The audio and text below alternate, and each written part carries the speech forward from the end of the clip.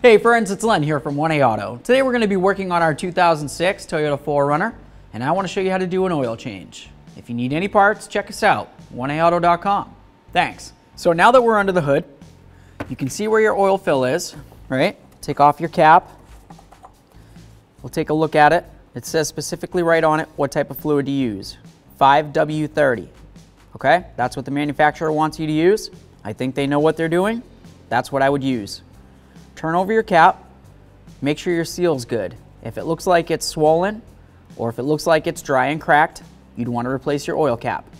This one looks good, we'll set it aside. I'm going to put it right over here on top of where my hood latch is right here.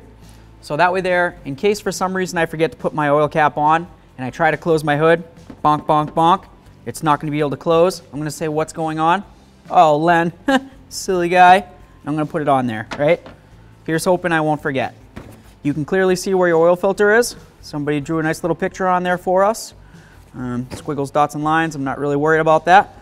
Um, anytime I'm doing an oil change, it's always a great idea to check your fluids. You know, you're under here. Why not? You've got your brake fluid master cylinder over here. This is the reservoir. So you just check your level, make sure it looks good. You can come over here. You have your coolant reservoir. Okay? You can see your level very clearly through it. Awesome. Your washer fluid. You always want to make sure that that's topped off. Power steering fluid. And your air filter is located right under here. Lastly, your oil dipstick. Right there. Awesome. So we have our oil cap off. Next, what we're going to do, since we're up here, we're going to remove our oil filter. We're going to turn that counterclockwise. Not much swing room with the cover on here, but see if we can do it anyway. Somebody made sure that that was super tight. Maybe a gorilla or something.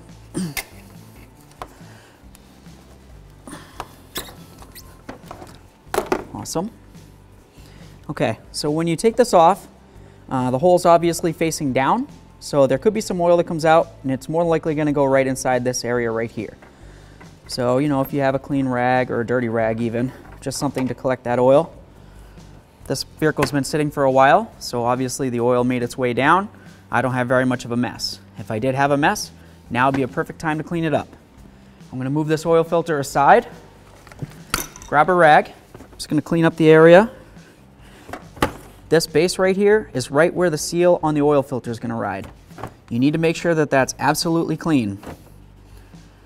You don't want any dirt or debris or anything like that on there. That's perfect. Let's grab our new oil filter. We'll move along. So generally speaking, you want to fill up your oil filters to prime them, but where this filter is upside down, I'm not going to bother filling it because I don't want to waste any oil. But I do want to definitely make sure that I have lubricant or oil going right around this seal right here, okay? That's going to help make sure that this comes off easy when it comes time to do our next oil change. Thread that right on there. Okay.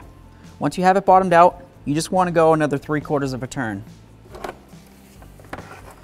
I usually just grab it and give it a couple extra little spins just like this. Awesome. Make sure I clean up my mess. I hate leaving a mess around. Definitely don't want to contaminate the environment.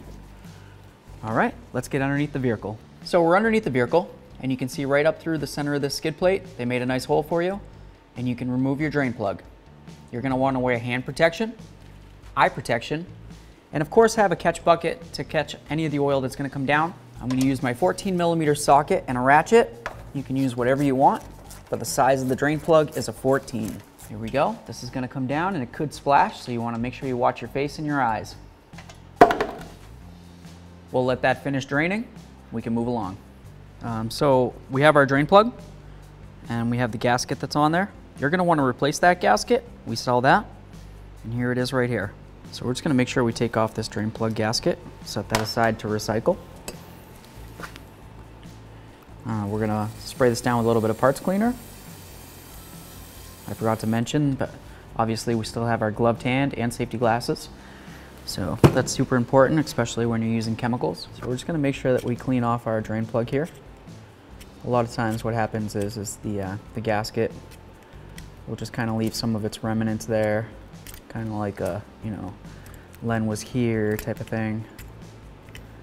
Um, so just clean that up the best you can so you have a nice smooth surface for your new gasket to ride on. Hit it with some more parts cleaner. So we scraped that off the best we could there. Spray it down. Looks pretty decent. We've got our brand new quality 1A auto gasket. Slide that on there. I'm gonna wipe down our oil pan right here. You wanna make sure that you don't have any gaskets stuck up on there. Okay, that looks like it's good. Take our drain plug, put it in there just like that. Take our 14 millimeter socket with ratchet, and bottom it out, and just give it a little tweak, and that's it.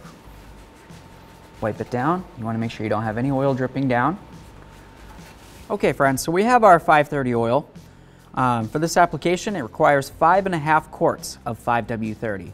So we grabbed ourselves a nice big five gallon pail, and we also have this extra little quart here. So we're just gonna take a look. You can see the half quart mark right there. So as I add, I'm just gonna keep stopping and see if I can get as close to this half quart as possible. It's like we're way up here. We're gonna keep going. Okay, that looks pretty good. Maybe a scotch over, but that's fine. I'm gonna set that aside. Now I can continue with my nice big quart, or I guess five quart jug. So we're just gonna try to get out as much of this as possible. Of course we can sit here for a while and wait for oil to keep coming out. Looks like we're coming to a drip here. I'd say that that's decent. Set this aside. Get our funnel out of here. Hey, I remembered. Put our oil cap on, make sure it's nice and snug. Okay, so now we need to start the vehicle. Okay, let's get this puppy started.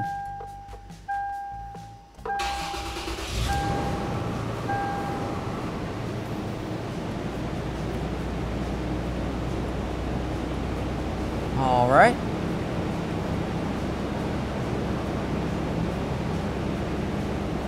Say that's decent enough. So we're on a nice level surface now. We just finished starting the vehicle. We're gonna lift up our dipstick, wipe it off, insert it back into the dipstick tube, give it one second, pull it back up. We're gonna take a peek. You have your low dot way down here and your full dot right up there. That looks pretty good. Wipe it real quick. You'll notice the low dot at the bottom and the full dot right here. That's gonna be approximately one quart of oil between there and there. So if you're all the way down at this uh, low dot right there, I would add by maybe a half a quart or three quarters of a quart and try to get it just under that maximum dot there, okay? Anywhere below that maximum and above the minimum, you're doing all right, but have it just below that maximum. If you happen to have added oil and you added too much and you notice it's coming up the dipstick, boop, boop, boop, boop, boop, someplace up here or even right here, that's actually really bad for your engine. You're just gonna wanna get back under there and drain out a little bit till it comes just below that maximum. With that said, I'm just gonna reinstall our dipstick, make sure it's all the way down, double check all of our caps and covers, anything that we may have tried to open up, check our fluids. We know we tightened our oil filter, we've got our oil cap on. I'd say that looks pretty great. Close the hood, down the road you go. Okay, so to reset the maintenance light, we're just gonna turn the key to the on position. You wanna make sure that your odometer is on the regular odometer field. So if you have it on trip A or you have it on trip B, this is not gonna work. Press it one more time if you're on B. It's gonna bring you to the main odometer field. Turn your key off, press and hold your trip button, and then you're gonna watch right down here. I'll do it like this. You're gonna watch for the maintenance, and you're also gonna watch right inside the odometer field for some dashes. It's gonna start counting down. Ready? Turn the key.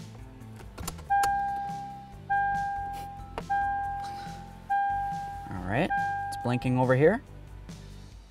So that looks like it worked perfectly. On some Toyotas, it does a little dash right up here, and it'll be like five dashes, four dashes, three dashes. So, you know, um, maybe like a Toyota Corolla or Camry or something like that.